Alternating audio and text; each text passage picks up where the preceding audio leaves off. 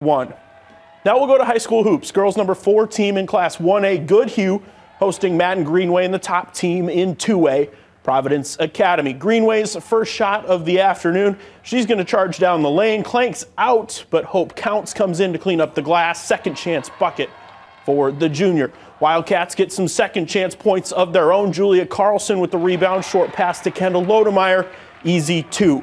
Lions back with the ball. Greenway getting around the first defender, right down the lane, floater with the right hand, had the soft touch off the back of the rim to fall. Goodhue fighting to stay in this one. Elizabeth Gadian driving, dribbling through the press, top of the three, crossover, step back, rattles home the three. When all was said and done, the Lions come out on top today, 86 to 70, your final.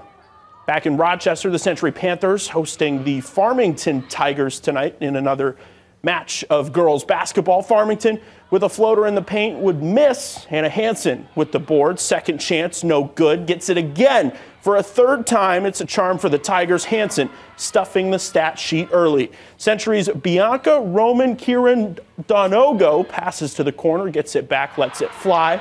That's three, nothing but net. Farmington hanging around though. Gianna Carpenter from the top of the three takes this downhill through contact. That's an and one for the Tiger. Later, a broken play. Three Tigers around Ryan Spear and the loose ball, eventually corralled by Nora Lynch, who finds an open X-May Severson for the bucket. Tonight, a thriller from Century, two overtimes, as the Panthers outlast Farmington tonight, winning 78 to 60.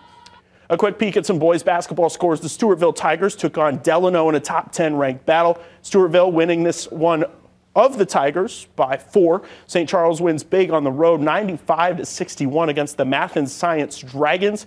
Finally, Cannon Falls put together an impressive win over Dover-Eyota, 81 to 57. Some stats: Bombers Aiden Johnson had a game high 31 for the Eagles.